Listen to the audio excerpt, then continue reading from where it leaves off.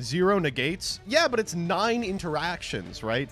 We've got the Ki-sikil, which is a pop, the Lil-la, which is a draw, and none of that shit is going to beat the Winged Dragon of Ra. Holy fuck. Oh